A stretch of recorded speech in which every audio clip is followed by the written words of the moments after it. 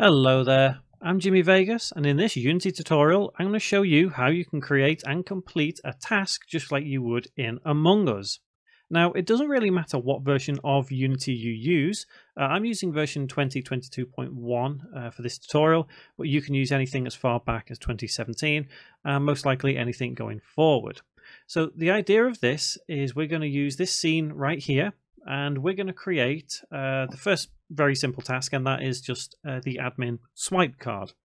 Um, again, it doesn't really matter what scene you use. Obviously, if you've built something, you could use that scene, and it is very, very simple to set up. We just need to adjust one single setting. We also need to add some game objects, and we need to create a script to complete it as well.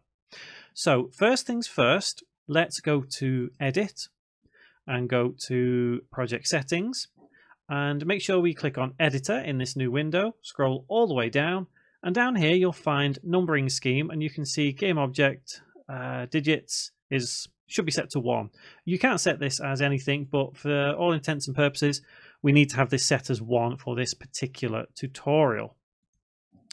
So how do we go about creating it just like in among us? Well like I say, I'm using these starter assets here, but it doesn't really matter what scene you use.